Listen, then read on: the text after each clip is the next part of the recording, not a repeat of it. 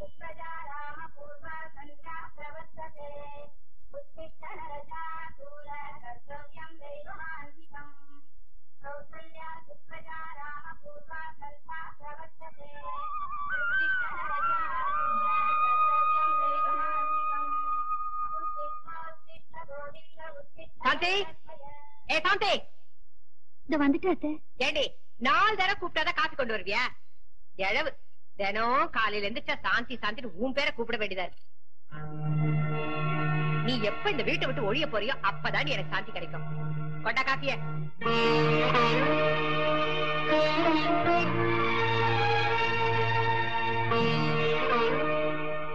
ஆமா மாசம் மாசம் உன் புருஷன் தூக்க முடியாம தூக்கிட்டு வந்து தருவான. சம்பள பணம் எட்நூறு ரூபாய். இந்த மாசம் தேதி ரெண்டாவது. இன்னும் ஏண்டி தரல? ராத்திரி ஆபீஸ்ல கொஞ்சம் லேட் ஆயிடுச்சு. வரும்போது நீங்க தூங்கிட்டு இருந்தீங்க. சரி காலையில கொடுக்கலாம்னு பார்த்தேன். இதுல 750 ரூபா இருக்கு. எட்நூறு ரூபாய் கொடுத்துட்டு இருந்த? ஏன் ஐம்பது ரூபாய் குறையுது? கண்ணை ஸ்கூல்ல எல்லாரும் எக்ஸ்கர்ஷன் போறாங்களாம். அவனும் போகணும்னு ஆசைப்பட்டான். அதான். ஐயோ ஐயோ ஐயோ இந்த அக்கிரமத்தை கேட்கறதுக்கு யாருமே இல்லையா? வசன் வசன் ரேகா? ரேகா? இங்க வாங்களே என்னம்மா?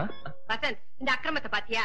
நான் ஏதாவது பேசினா மூத்ததார்த்து பையன்னு இவன் குடும்பத்தை கொடுமைப்படுத்துறதா? எனக்குன்னு வாச்சிருக்காரே அருமை புருஷன். அவர் குறை சொல்வாரு. வாடகையே இல்லாம இங்கேயே தங்கிக்கிட்டு மூணு வேளை மூக்க பிடிக்க திங்கறதுக்கு ராசா மாசம் மாசம் எட்நூறு ரூபாய் பணம் தருவாரு.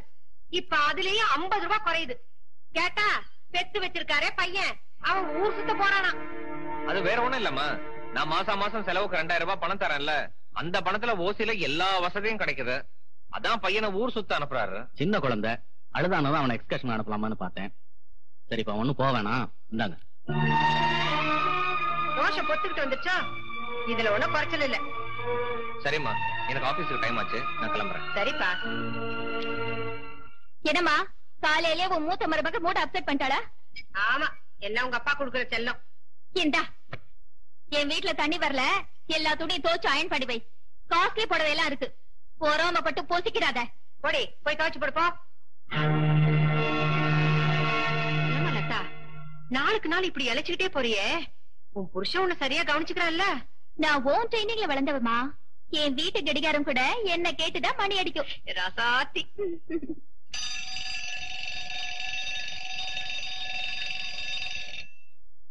ச்சே, எந்த டான்ஸ் அலாரம் வச்சது?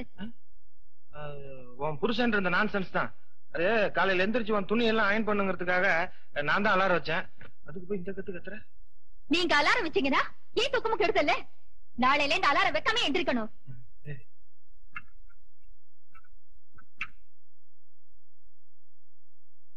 ப்பு.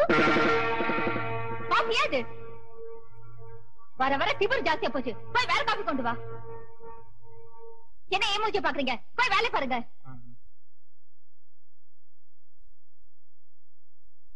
அம்மா. என்னடா? வர வர உன் மருமகளோட தொலை ஜாஸ்தியா போச்சு. பாபு இப்ப வருத்தப்பட்டு என்னப்பா பிரயோஜனம்? அன்னைக்கு பொண்ணு பார்க்க போன இடத்துல அவளுக்கு ஆட தெரியுமா பாட தெரியுமான்னு கேட்டியே? அடக்கமா இருக்க தெரியுமான்னு கேட்டியா? உனக்கு பொண்ணு பிடிச்சிருந்தா நானும் சரின்னு சொல்லிட்டேன்பா. இப்ப பாரு ரெண்டு பேரும் அனுபவிக்கிறோம் ஏமா லதாவோட அம்மா மருமகளை மிரட்டுற மாதிரி. உன்னால மிரட்ட முடியாதம்மா. இல்லப்பா மத்தவங்களை அவமானப்படுத்துறதா அவ குடும்ப பழக்கம். அமைதியா இருக்கிறது நம்ம குடும்ப பழக்கம். இங்க என்ன ஏன் குடும்பத்தை பத்தி பேச்சு கொஞ்சம் கூட பயமே இல்லையா? ஜாக்கிரதையா இருங்க. மண்ணெண்ணெய ஊத்தி என்ன கொளுத்த பாத்தீங்கன்னு போலீஸ்ல கம்ப்ளைண்ட் கொடுத்துருவேன். பாலக்காட்டு பக்கத்திலே ஒரு அப்பாவி ராஜா. அவர் பழக்கத்திலே குழந்தைய போல் ஒரு அம்மாஞ்சி ராஜா. யாரம்மா? அது யாரம்மா? அடா அடா அடா. இந்த கற்பனைக்கு ஒண்ணும் குறைச்சல் இல்ல. பைத்தியக்காரி. இந்த வயசுல எல்லாத்தையும் என்னால கற்பனை பண்ணி தான் பார்க்க முடியும். வேற ஒண்ணும் முடியாது. ராஜேஸ்வரி வர்ற பதினஞ்சாம் தேதி என்ன தெரியுமா உனக்கு? என்னன்னு நீங்களே சொல்லுங்க எனக்கு நிறைய வேலை இருக்கு. வர்ற பதினஞ்சாம் தேதி அன்னைக்கு எனக்கு அறுபது வயசு பிறக்க போகுது.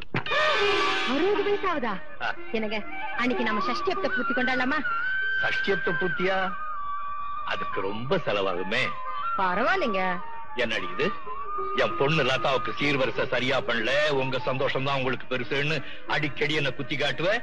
இப்ப நிறைய செலவு பண்ணி சஷ்யப்த பூர்த்தி கொண்டாடலான்னு சொல்றியே. யாருக்குமா சஷ்டிப்த பூர்த்தி? வாமா லதா. வர பதினஞ்சாம் தேதி உங்க அப்பாவுக்கு அறுபதாவது பிறந்த நாள் வருது. அத நல்லா கொண்டாடலாம் நான் ஆசைப்படுறேன். நீ ஏதாவது சொல்லுமா? மாமாவோட சஷ்டிப்த பூர்த்தி விமர்சையா கொண்டாட வேண்டியது நம்ம கடமை இல்லையா?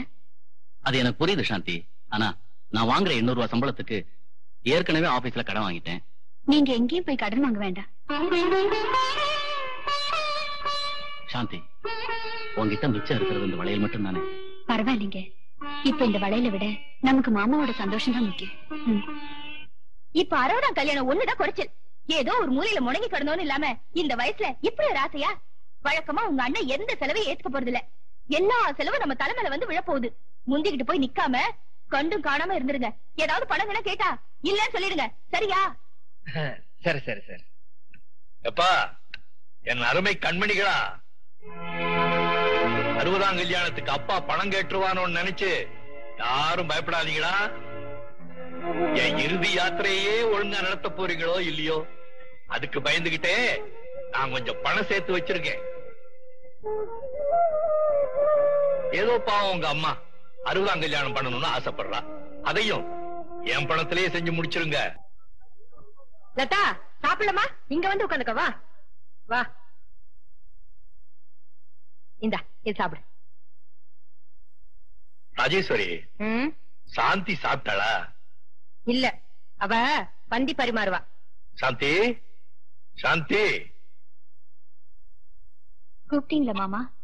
வாமா நீயும் உட்காந்து சாப்பிட. இப்ப அவளுக்கு என்ன அவசரம்? நீ போய் பந்தி பரிமாறு போ. எல்லாரும் பல்லக்குல ஏறிட்டா? பல்லக்க யார் தூக்குறது? தாத்தா தாத்தா நானும் உங்க கூடவே சாப்பிடுறேன். உட்காந்துக்கோ தாத்தா இலையிலே சாப்பிடு.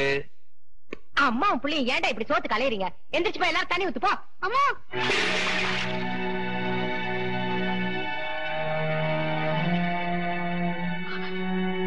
சனீன சனீன பாத்து போறதுக்கு என்னடா?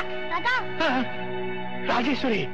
எனக்கு தெரியும் இப்படி நடக்கும்னு. வேணும்னுதான் இப்படி பண்ணிருக்கேன் என் புடவை எல்லாம் போச்சு. பொறாமணி நீங்க ஃபாரின் புடவை கட்டிருக்கீங்கல்ல அந்த பொறாம தருதரம் பிடிச்சவன். இந்த சனியை வீட்டை விட்டு ஒழிஞ்சாதான் எல்லாருக்கும் நிம்மதி. ஏன் இன்னும் நிக்கிற? போய் உள்ள. அஜிசுரி நல்ல நாள் அதுவுமா? பெரியவங்க எல்லாரும் ஆசீர்வாதம் பண்ணுவாங்கன்னு நீ அரிச்சு கொட்டிய நீ ஆசைப்பட்டதுக்காக தான் நான் அதுக்கெல்லாம் சம்பவிச்சேன் உன்னுடைய அக்கிரமத்தை எல்லாம் பாக்குறதுக்கு நல்ல வேளை எனக்கு கண்ணு இருக்கு. காது கேட்காம போயிருந்துச்சுன்னா ரொம்ப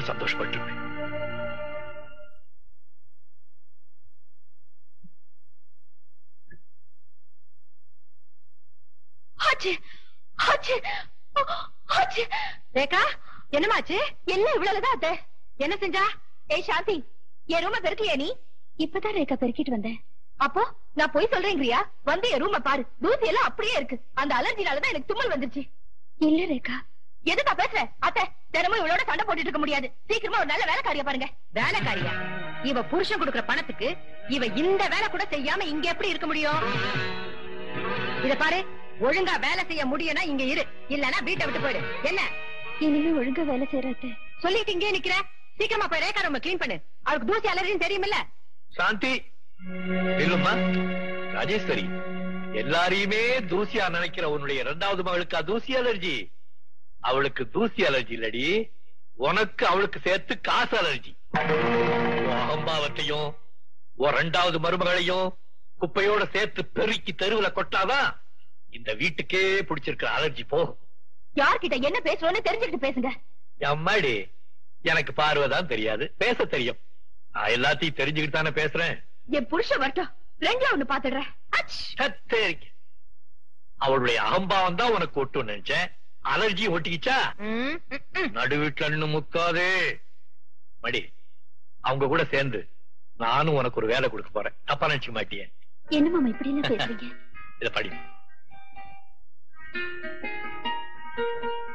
யாரும் எழுதிருக்கா சிவா எழுதியிருக்காரு மாமா. காலேஜ்ல முக்கியமான டெஸ்ட் இருந்ததுனால அறுபதாம் கல்யாணத்துக்கு வர முடியலையா? அறுபதாம் கல்யாணம் கிடக்குது கழுத. அவன் நல்லா படிக்கணும். அவனுக்குன்னு தனியா ஒரு வாழ்க்கையை ஏற்படுத்திக்கணும்னு அப்பா சொன்னதா நீயே அவனுக்கு லெட்டர் எழுதிடுமா?